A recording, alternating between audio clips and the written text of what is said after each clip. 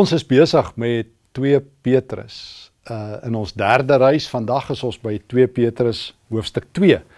Die groot hoofstuk oor die dwaalleraars wat ingedring het in die geloofsgemeenskap aan wie Petrus hierdie brief rig iewers in die Grieks-Romeinse wêreld. Mag die Here ook vandag al die eer kry.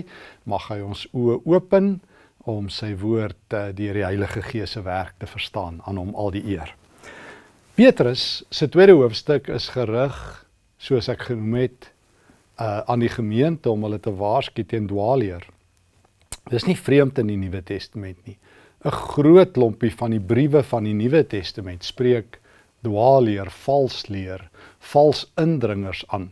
En die tweede Petrusbrief, as jy hom nou langs die Judasbrief sit. Judasbrief het net een hoofstuk, daardie kort brief net voor Openbaring, dan gaan jy agterkom daardie twee hoofst dat die Judasbrief in 2 Petrus 2 lyk verbasend dieselfde tot so 'n mate dat ons geen twyfel het nie dat of Judas of Petrus by mekaar die inhoud geleen het en dit oorgeplaas het. Vandag vermoed ons dat Judas eerste geskryf is deur die broer van die Here en dat Petrus wat met dieselfde dwaalleringe te doen het, dit net so geïnkorporeer het wat Judas sê. Uh dien teen skryf hulle aan dieselfde geloofsgemeenskap of aan geloofsgemeenskappe wat dieselfde soort probleme het. En daarom kan jy gerus gaan kyk. Dit is nie my doel vandag nie, maar al die ooreenkomste tussen Judas en 2 Petrus wat vir ons sê, ehm um, hulle hulle het van mekaar geweet. Ehm um, en ons vermoed dan dat eh uh, 2 Petrus of Petrus die Judasbrief ter hand gehad het. Goed. Dit begin in die eerste 10 verse van 2 Petrus hoofstuk 2 met 'n oorsig oor die dwaalleraars wat in Israel se geskiedenis in die Ou Testament aan die orde van die dag was. Petrus begin en hy sê in vers 1 daar was valse profete onder die volk uh, en net so sal daar onder julle ook valse profete wees wat die waarheid um, eintlik verloon soos hy in vers 1 sê. En nou uh, verduidelik hy dat hierdie vals leer wat nou daar in die gemeente is, paar kenmerke het en dit sal algaande duidelik word. Onder andere vers 2 losbandigheid bedoelende seksuele immoraliteit. Hulle lewe buite God se voorskrifte vir seksualiteit. Hulle ehm um, hulle is losbandig, hulle praat deur hulle optrede gaan hulle maak dat mense buite spot met die weg bedoelende. Dis een van die terme wat in die vroeë kerk vir die Christene gebruik is. Mense van die weg people of the way, die pad. Uh ons kry dit in Handelinge, ons kry dit ook um, hierso.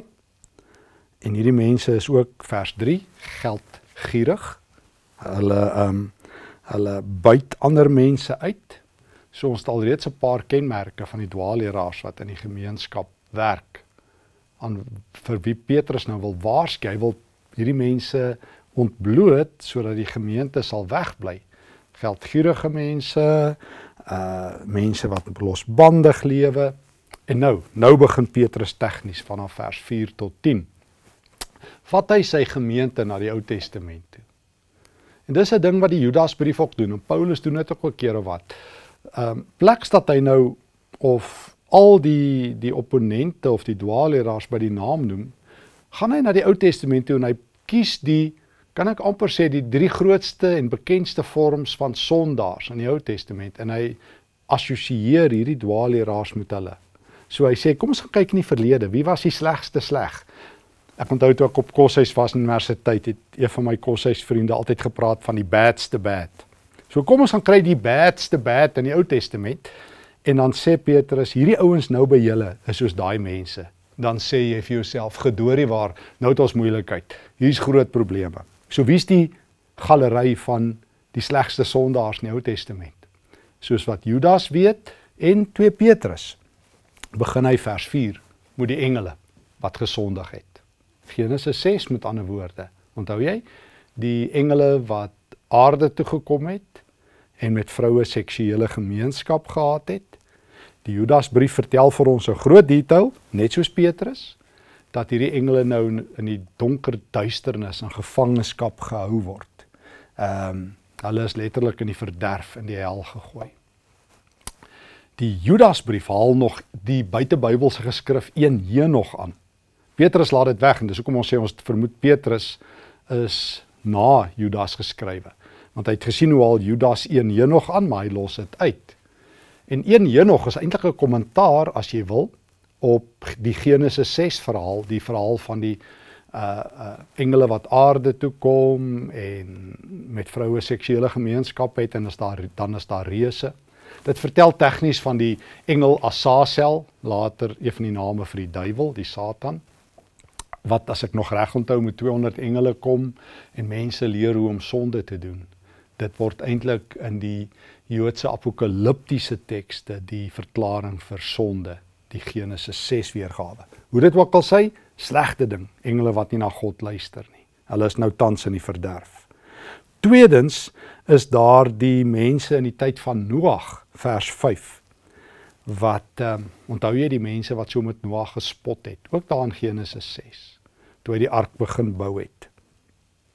En dan het ons derdens die mense van Sodom en Gomorra daai groot verhaal daarvan Lot en Abraham rondom Genesis 18 verder.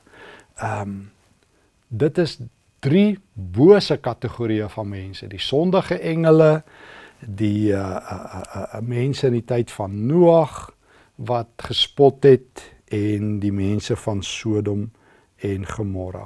En dan word daar ook vertel hoe sleg dit vir ehm uh, Lot was om man alleen tussen hierdie goddelose spul te lewe. Hoe hy dag en nag al hulle boosheid en gruwels moes aanskou.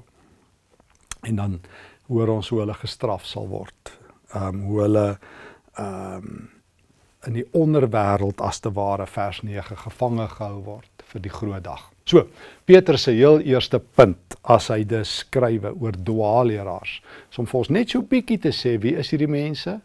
Hulle is wel lustig, Hulle is geldgierig. Hulle gaan die gemeente op sleeptou neem. Dan vat hy ons na die die galery van groot sondaars toe. Naamlik soos ons gesien het, die uh um mense in die engele wat nie geluister het nie, die mense in die tyd van Noag en Sodom en Gomorra. Judas terloops vat ook die Israeliete in die woestyn as 'n voorbeeld. Die Israeliete wat nie na Moses geluister het nie, wat in die woestyn omgekom het. So hier het jy nou die die grand sondaars. Hierdie manne het behoorlik gesondig en hierdie engele. En nou is hierdie ouens wat in die gemeente is, word met hulle geassosieer. Goed. En vanaf vers 10b in 2 Petrus 2 begin Petrus nou praat hierdie mense, hierdie ouens wat by julle is. Nou vat hy dit en hy pas dit toe op die gemeente. En hy hy begin in vers 10 tot 12 om hulle dwaasheid uit te lig. Hierdie uit, hierdie leraars is uitdagend en verwaand en hulle huiwer nie om hemelwesens te beledig nie. Selfs die engele wat baie sterker en magtiger is, uh, bring nie voor die Here lasterlike aanklagte nie, maar hierdie mense praat lasterlik van dinge wat hulle nie verstaan nie. Dit laat my vermoed dat hierdie mense lasterlik praat oor engele. Nou engele kan nie aanbid word nie. Daaroor is die Bybel baie duidelik. In Openbaring boek skrik die engele elke keer, soos daar in Openbaring 19 as Johannes voor 'n engel neerval. Dan sê die engel ek's net 'n medediensneg. Engele is nie aanbidbaar nie, maar hulle is ook nie spotbaar nie, as jy sal verstaan. Hulle is God se hemelse weermag. Ken jou plek, los engele uit. Dis eintlik wat ehm um, wat Judas baie sterker nog sê as 2 Petrus. Maar hierdie mense weet nie. Hulle praat ligtelik oor die hemelse kragte en spot en beledig. So dis 'n derde kenmerk van hulle. Hulle weet nie, hulle tree dwaas op. Hulle verstaan nie met wie hulle te doen het nie. So hierdie gespottery met die engele. Ek het sommer um, so langs my te loops as jy sien, ek het so 'n ou dikke boek geskryf, ons sluit die Bybel. Uh nog net die Nuwe Testament is in druk, ons sluit die Nuwe Testament.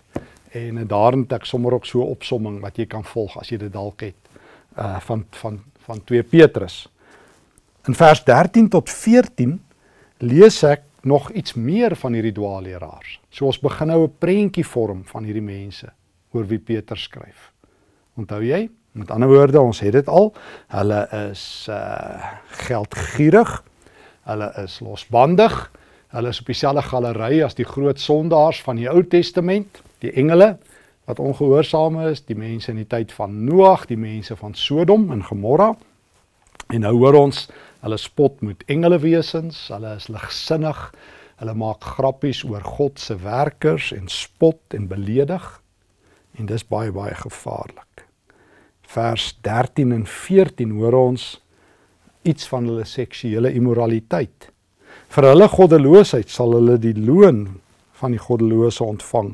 Hulle verlustig hulle daaraan om helder oordag swelgpartye te hou, dan oor 'n dronkpartytjies. Dag vir dag het hulle hierdie vyf partytjies. Hulle drink vir hulle self te pletter. Dis nou mense in die kerk, in die geloofsgemeenskap. Wanneer hulle saam met julle eet, is hulle 'n smet en hulle skande want hulle is uitspattig. Hulle oë is ene welis. Hulle kry net nie genoeg nie. Hulle verlei mense en is bedrewe geldwolwe, sulke vervloektes. Sjoe. Petrus is kwaad, né? Op sy sterfbed is hy besig om hierdie ouens uit te haal. Hy sê hier in julle midde is 'n klomp immorele indringers. Hulle drink vir hulle self dronk. Die Judasbrief sê hulle sit nog by die liefdesmaaltyd by die agape en doen dit. Ek hoor hoe hulle ehm um, by julle feeste hulle self dronk drink. En dan is hulle wel lustig. Hulle hulle doen vieslike seksuele goed wat nie by 'n Christen pas nie. Dit moenie eers op 'n Christen se tong wees hierdie dinge wat hulle doen nie. En intussen vat hulle hulle geld. Tjoe. Dis 'n immorele spul. Derdens, hulle is gierig, vers 15 tot 16. Hulle is gierig. Hulle doen wat uh, daai pad van Balak en Biliam van die Ou Testament. Uh daar in Numeri 22 tot 25 onthou jy die verhaal van Balaam, Biliak en die donkie wat gepraat het. Hulle is gierig en daai verhaal in Numeri vertel ook van gierigheid. So hierdie ouens is agter hulle geld aan. Hulle is geldgierig en hulle gaan nou baie baie slegte effek hê op die geloofsgemeenskap. So vertel Petrus in vers 17 tot 22. So hier het ons die prentjie. Gierige mense, wellustige mense, spotters van hemelse dinge, immoreel agter julle geld aan. Ehm um, wat is die effek wanneer jy sulke slegte suurdeeg in jou midde toelaat? Wel vers 17. Petrus gebruik 'n klomp voorbeelde uit die natuur. Droë fonteine, miswolke wat deur 'n stormwind gejaag word. Hulle is aanmatigend. Ek lees net so hier en daar vers 18. Uh mense hulle is aanmatigend sê sinnelose dinge. Met welis en losbandigheid verlei hulle mense wat pas vrygekom het uit die kring van die wat op dwaalweë verkeer. Hulle beloof vryheid, maar hulle self van die mag van dit. So hulle trek ander gelowiges af. Mense vers 20 wat van die besmetting van die wêreld vrygekom het deurdat hulle ons Here en Verlosser Jesus Christus leer ken het en wat nou terugval in hierdie goeters is in die einde slegter daaraan toe as aan die begin. So hulle vat mense wat net Christene geword het nou sleep hulle nog in groter gemors. En hulle sê ag nee, toe maar. Die Here sê dis oukei. Okay. Die engele sê dis oukei. Okay. Vertrou ons. Ons kan doen wat ons wil en leef soos ons wil. Hulle maak 'n bespotting van genade. Nie waar nie.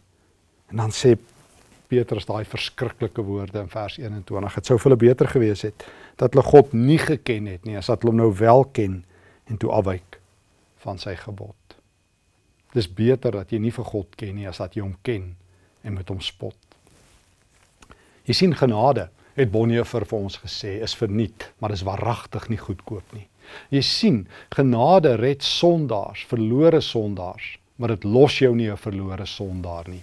Jy sien, God vat jou soos jy is, maar hy los jou verseker nie soos jy is nie. Paulus skryf in 2 Korinte 3 vers 18 dat ons besig is om te verander van heerlikheid na heerlikheid deur die Heilige Gees. Jy het gesien in 2 Petrus 1 toe ons daarby stil gestaan het in die eerste en tweede studie dat die krag van God ons 'n nuwe goddelike natuur gee, dat ons kan wegvlug van sonde, dat ons vrye toegang het tot God om dus in so 'n lewe in te val. 'n Skrikwekkend. Jy mag nooit genade goedkoop maak nie. Um die feit dat ons genade preek beteken nie ons het 'n gratis lisensiekontrak by die hemel gekry nie uh wat sê ons kan 10 sondes per dag doen nie. En dis maar oukei okay nie. Ek preek op 'n keer by 'n kerk nou onlangs en iemand kom vertel my en al die wind totaal uit my seil uit. Vir 'n oomblik staan ek daar dat ek vir myself sê ek het nie eers 'n antwoord nie. Iemand kom vra vertel vir my, hulle het nou so 'n ou klein probleempie, maar dis ook nie so erg nie, maar dalk hoe voel ek daaroor? Ehm um, 'n familielid van hulle gaan in hierdie week wat kom ehm um, iets groot steel. Want hy het dit nodig. Hy kan dit nie bekostig nie. Hy gaan 'n soort voertuig vir homself steel en hy het dit vir hulle gesê en hulle het saam besluit maar die Here is genadig. Hy sal hom vergewe. Maar hy gaan ek sê het ek reg gehoor, hy gaan dit nog doen. Julle beplan dit. Ja sê hulle, ag en is dit nou nie 'n mooi ding om te doen nie sê hulle. Maar jy weet die Here sal hom vergewe want God is mos genadig, né Stefan? Toe sê ek en toe dink ek aan Hebreërs 10. Toe sê ek as 'n mens, ek sê ouens, as 'n mens volhardend, doelbewus en intentioneel sonde doen nadat jy tot die waarheid gekom het, dan moet jy oppas sê die Hebreërs skrywer want op 'n dag uh plaas jy jou op 'n plek waar daar nie meer 'n verzoening is vir jou sonde nie waarsku die Hebreërs skrywer vir mense wat daar is. Petrus sê dieselfde. Hy sê mense wat eers vrygekom het van die besmettinge van hierdie wêreld vers 20. Mense wat Jesus geproe gesmaak het, sy krag beleef het en nou terugval. Daarom is dwaalleer so gevaarlik. Dwaalleer van die evangelie van Christus. En ek koel dit net so bietjie af op allerlei maniere. Ek sê altyd vir myself, Die bose kom nie na my toe met 'n visitekaartjie wat hy so uithaal en sê ek is Lucifer, ek gaan jou in die volgende 3 sekondes of 30 sekondes versoek nie. Hy kom na jou toe in die gestalte van 'n dood onskuldige persoon. Sê Paulus dan self in 2 Korintiërs 11. Die Satan verander hom in 'n engel van die lig nie. Dwaaleer kom baie onskuldig, baie vroom. Ag Stefan, moenie so ernstig wees nie, het iemand al vir my gesê oor die Bybel. Jy's veelste ernstig. Koel bietjie af. Jy hoef jou nie te bekommer nie man, die Here sal sal ons op die ouend help. En dan word die evangelie so bietjie kouer en ons harte so bietjie harder. Ag, en toe maar man, almal doen dit. Kom ons kry die nuwe standaard wat nou in Suid-Afrika geld. Almal is stikkend, almal sukkel. Moenie veroordeel nie. Wie's jy om vir my te sê hoe ek moet lewe? Ag, ons almal is net mense. Kom ons kry mekaar op mekaar se standaard. Dis amper wat mense sê. Nee sê die Here. Jy is geroep om op my standaard te lewe. Geen uitsondering nie. Hoor weer. Ons is geroep na God se standaard. Ons is nie geroep om God se standaard af te skaal en af te gradeer waar dit vir ons gemaklik is nie.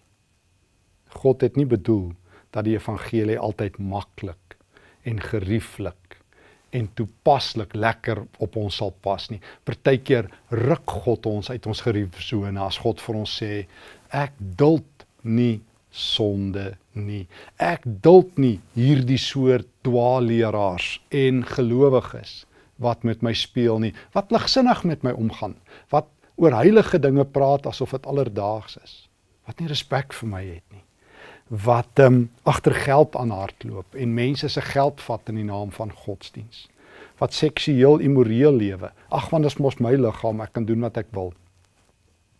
Die Bybel het 'n hoë seksuele moraal, God se standaard.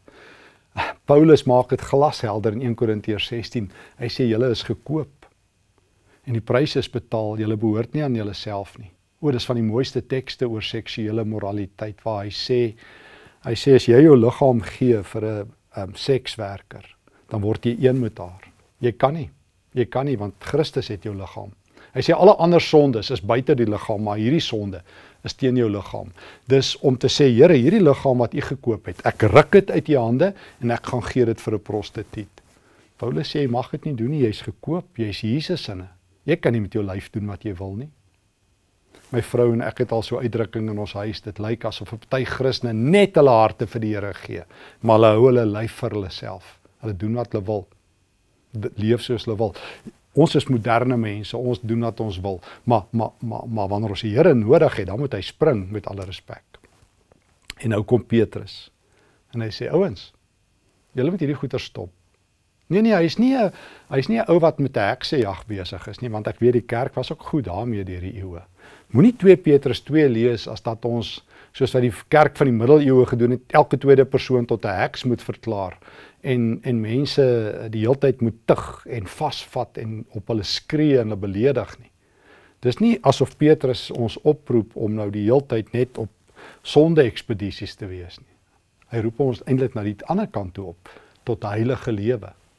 Maar wanneer jy toelaat dat hierdie soort suurdeeg in 'n gemeente, in 'n gemeenskap, in 'n familie, in 'n vriendekring gedei en jy stop dit nie, gaan dit soos 'n kanker deur alles trek. Jesus het sy kerk gewaarsku daar in Openbaring 2 en 3. Wanneer jy my standaard, julle standaarde toe afdruk na. Wanneer jy met ander woorde my standaard verlaag en verlaag en verlaag en al hoe meer verdraagsaam raak teenoor enigiets, is jy kort voor lank koud en dood. Ek het dit gesien in Holland waar ek vir 'n klompie jare gewerk het. Ek het dit gesien elke keer as ek in Europa is by universiteite en in kerke. Hoe die evangelie kouer en kouer word. Hoe die wêreld al hoe meer instroom. Mag ons hoor in Petrus se testament dat hy ons oproep tot 'n ander standaard. Dit is dis nie hoe jy Christus leer ken het nie. En daarom waarsku hy vir ons in vers 22. Mense wat so lewe, dan sê hy baie harde woord. 'n Hond gaan terug na sy uitbraaksel toe, soos wat Spreuke 26 sê. En 'n vark wat gewas is, eintlik letterlik 'n vark sog, gaan rol weer in die modder. Dan word dit hulle natuur. Hulle loop die hele tyd terug na hulle eie gemors. Hulle kan nie genoeg daarvan kry nie. Dit raak verslawend, soos wat ons weet. Seksuele wangebruike raak verslawend. Drank wat misbruik word raak verslawend. Ehm um, geld raak verslawend. Mense gaan terug daarna toe. Petrus sê moenie soos honde wees wat na hulle eie uh braaksel toe loop nie. Moenie soos varke wees wat altyd in die modder rol nie. Wees soos 'n kan ek sê ek kyk nou die dag na my kat, een van ons katte. Toe dit reën buite toe kom sy in met modderpootjies. Wat is die eerste ding wat 'n kat doen? Sy gaan sit en sy lekker self skoon. Wees dan minstens soos 'n kat en weier dat modder aan jou pote vassit, aan jou lewe vassit. Gaan was jou in die bloed van die Here Jesus. Kom op sy standaard. Watter standaard vra jy? O, mag ek jou net weer herinner in 2 Petrus 1 vers 3. Sy goddelike krag het ons alles geskenk wat ons nodig het om Godvreesend te lewe en hom te dien. Ons ken hom wat ehm um, sy heerlikheid in ons geopenbaar het. En ons ken hom wat ons geroep het om op sy standaarde te lewe. Daarom geliefdes, daarom ehm um, moet ons mekaar aan hierdie dinge herinner, soos 2 Petrus 1 vers 12 sê. Daarom moet ons mekaar gedurig vermaan en aanmoedig om skitterende lewens te lewe, lewens wat die Here Jesus verheerlik. Nou kom ons vra hom, kom ons bid saam. Here Jesus, uh, as ek so in 2 Petrus 2 lees van dwaalleer, dan gaan staan my hart. Here gee dat ons nie sal duld dat uh u standaarde afgedwo verwyder word en menslike standaarde die nuwe norm word nie. Gee dat sonde nie maar net toegelaat sal word om te gedei en te groei nie. Gee dat ons in liefde maar ook met die nodige erns mekaar sal vermaan en aanmoedig om op u standaarde te lewe. Gee dat u kerk heilig en rein en eerbaar en met integriteit sal lewe ook in hierdie tyd. Gee dat ons helder ligte sal wees wat skyn in 'n verdraaide wêreld. Laat U naam geheilig word in ons midde. Laat U koninkryk kom en laat U heerlikheid sigbaar wees. In die naam van Christus bid ons dit. Amen. Vrede. Thank you.